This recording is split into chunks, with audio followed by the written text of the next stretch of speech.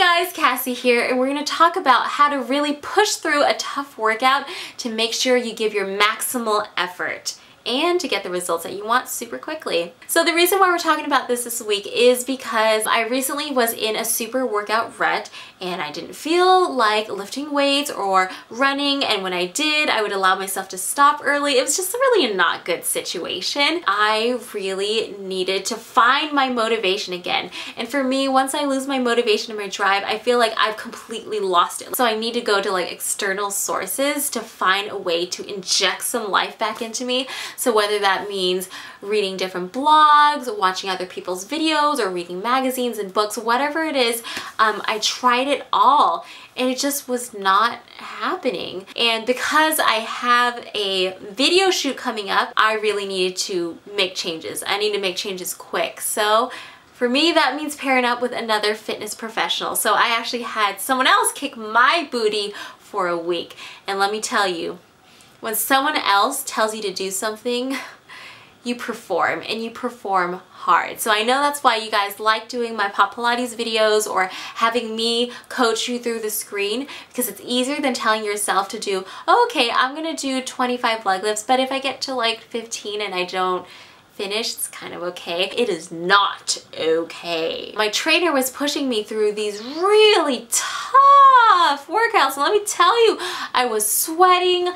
I was biting my tongue. I don't know why I bite my tongue when things get hard, but I do. And I was constantly telling myself, like, Cassey, you can do this. I hope he didn't think I was weird. And there was so many times I wanted to just die. But I was like, no, I'm gonna wait for him to say five more and I'm gonna give the hardest last five I can. Why? I want the results.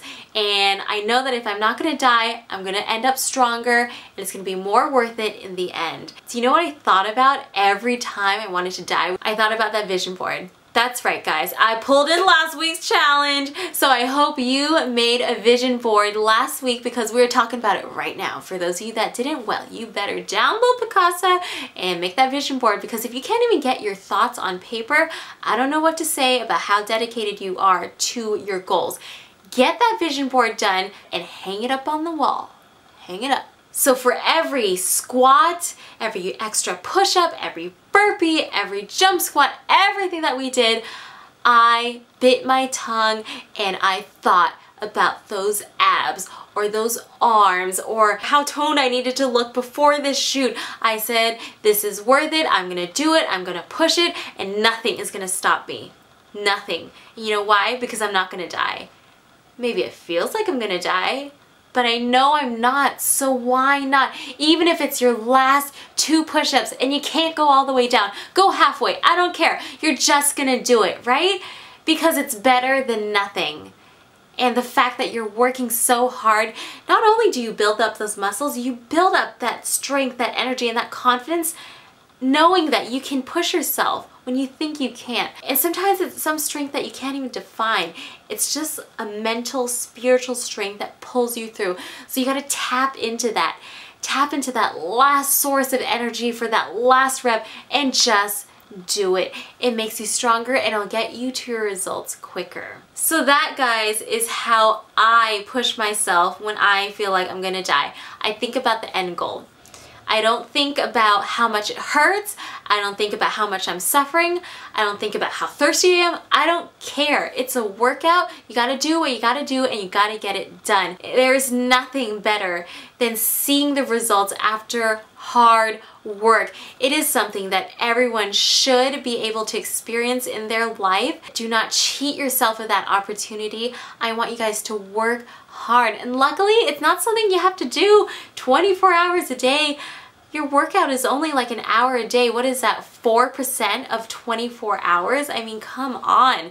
Push through, take it hard, and then relax the rest of the day. So your challenge this week is to push yourself to that level of intensity. I want you guys to really go hard. Stay strong when it hurts. Just know that I hurt the same way you do and we are gonna push it together. And so quick vlog, I just want to say thank you so much to all the popsters who posted on my blog, on my Facebook, um, for your love and support on the incident that happened last week. You really cheered me up. I read through every single comment and although I wasn't able to reply back to everyone, trust me, your comments were heard and read and acknowledged and felt. You made me smile to my ears. My heart felt so warm. I literally melted and it just felt like huge group of girlfriends was around me, um, letting me cry on their shoulder, I guess you could say. And you guys, just so you know, you also motivate me and inspire me and you, you are so inspirational and I just feel so fortunate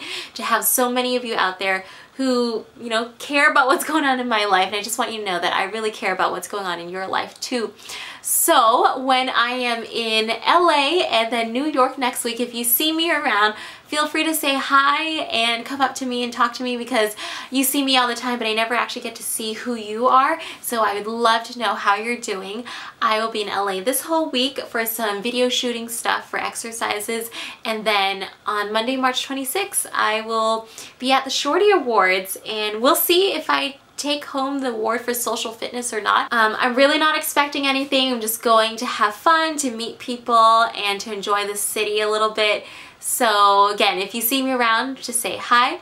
And um, if you're scared, then fine, be a stalker and tweet me afterwards and be like, I saw you at Topshop. All right, love you so much. Bye guys.